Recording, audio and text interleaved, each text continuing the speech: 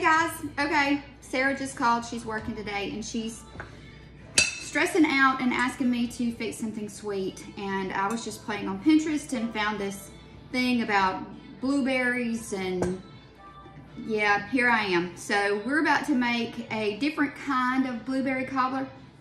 I'm kind of combining two different recipes and doing my own thing.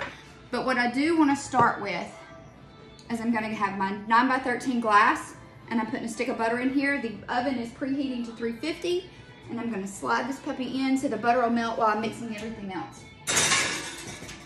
And you guys know that I don't generally use recipes, but I'm going to try and figure this out because I love you.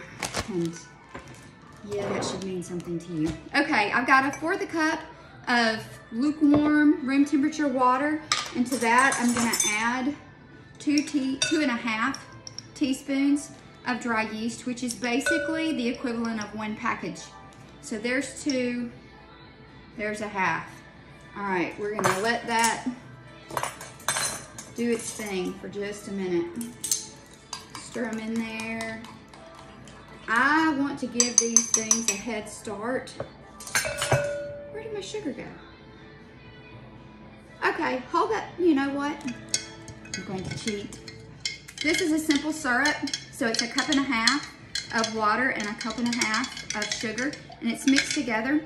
We're gonna pour this over the top, but for right now, I'm gonna sneak a teaspoon out of there and just put it in there for my yeast so we can get them, it's kind of like food. It's yeast food.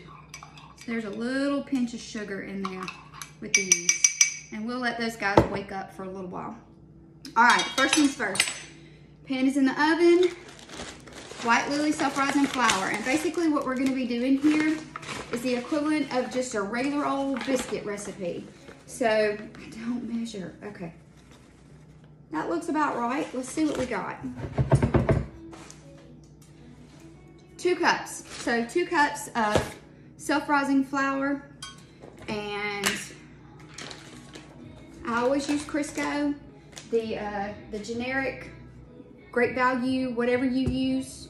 Just need some vegetable shortening. The other recipe called for a half a cup. And that's about what I would use. So let's see what, what this measurement ends up being. Oh, the pan's all dirty for you. And Sarah, yes, let's not forget Sarah. All right, let's see what we got here. Too funny, half a cup, huh?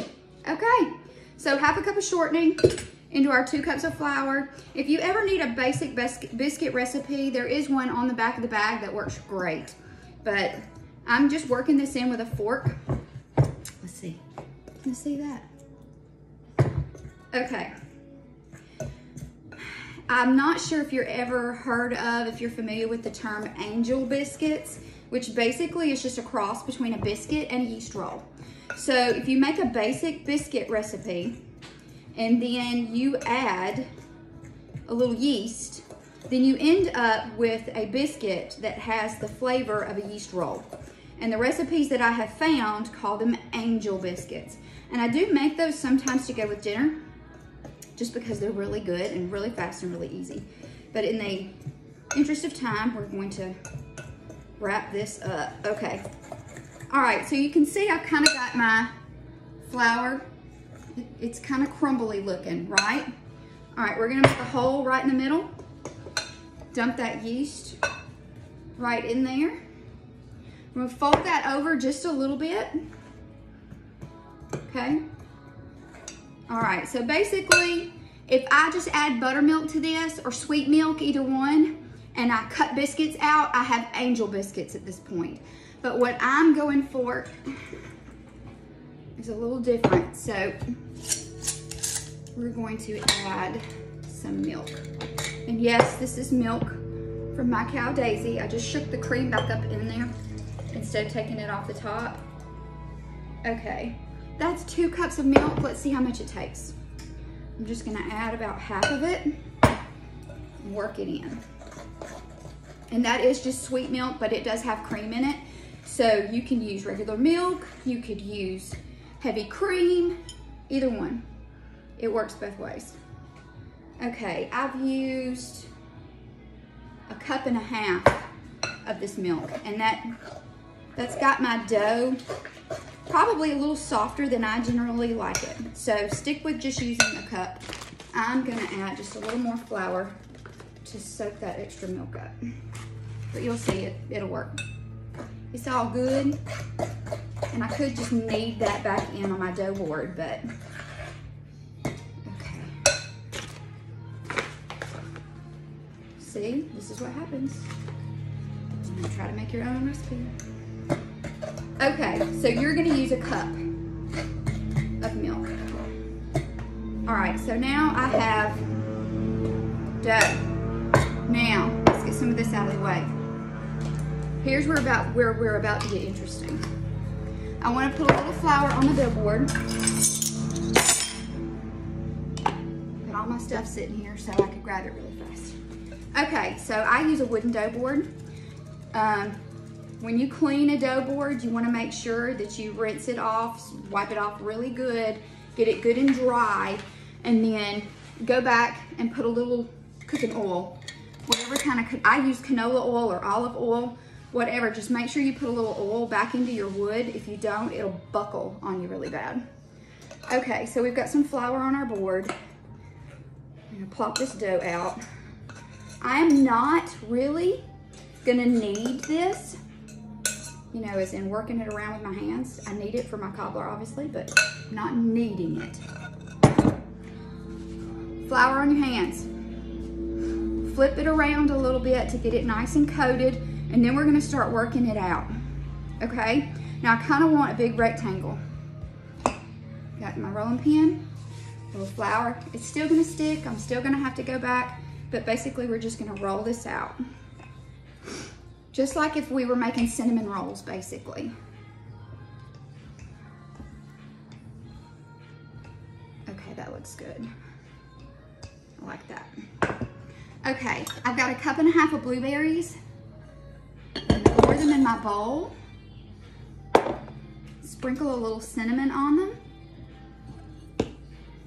Give them a toss. Yes, I'm gonna have blue fingers for church tonight. Okay, now we're gonna sprinkle these in a thin layer, single layer. I wish I had more blueberries, but I don't, so we're gonna make do with what we got. As Daddy would say, sometimes you gotta let the rough end drag. Okay, so I've got my blueberries here on my dough. Now we're just gonna start rolling it, okay? Roll and roll and roll. Quit sticking to the board, please. Throw a little flour back there if you need to to get it off the board. Okay. Ready? Okay, so we have a roll here. Now, move this to the sink. Let me see. Butter is just about melted. So what we're gonna do, take a knife and start cutting. Now, just mash straight down give it a little wiggle. I'm cutting probably about almost an inch right at it. Just straight down, give it a pinch, and then just kind of put it back into the shape of a circle when you're done. Okay? All right, let me grab that pan because I think it should be okay by now.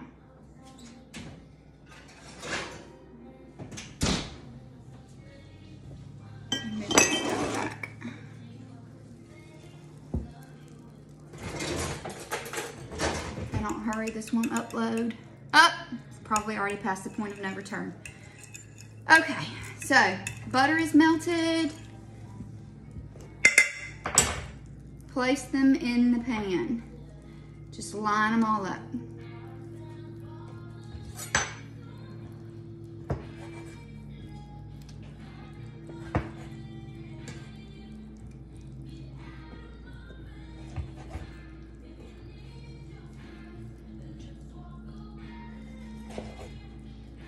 I'm just gonna line these up in here and then uh, pour that um, simple syrup that we made right over the top of it.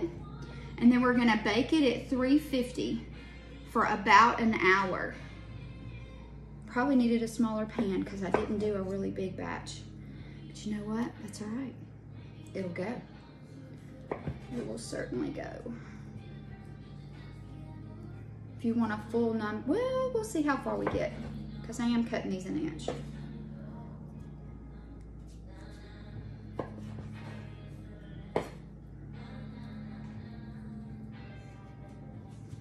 Cut, cut, cut. Chop, chop, chop. Line them up. Now I'm basically using a recipe. I've two different recipes and then threw my own twist in here on it just because sometimes people write recipes and they try to make sure that they're different than everybody else's and then they end up making them more complicated than they have to be.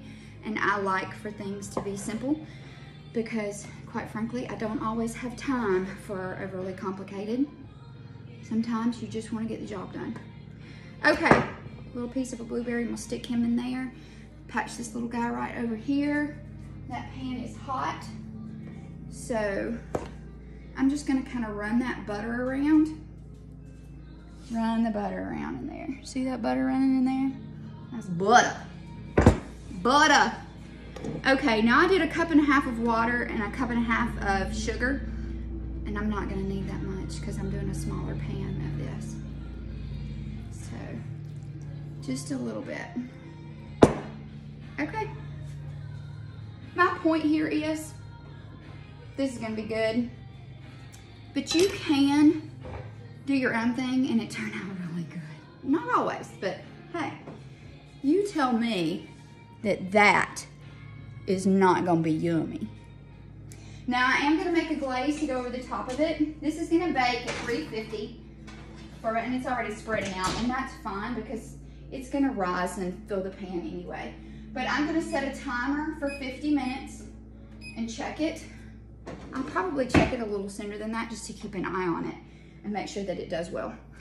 But for the glaze, you're gonna get a cup of um, powdered sugar and add either a half a teaspoon of vanilla, maybe it's a fourth, it's a fourth of a teaspoon of vanilla or lemon because blueberry and lemon goes really well together. And um, just about three to four tablespoons of milk. And then when they come out and they're all warm and yummy, you just pour that glaze right over the top. And that's it. Okay, I'm gonna probably upload this to YouTube since it ended up being 13 minutes long and Facebook's not gonna let me do that.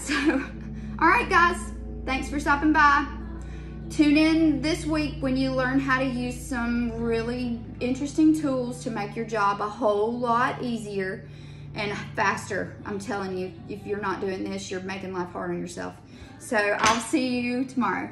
Bye.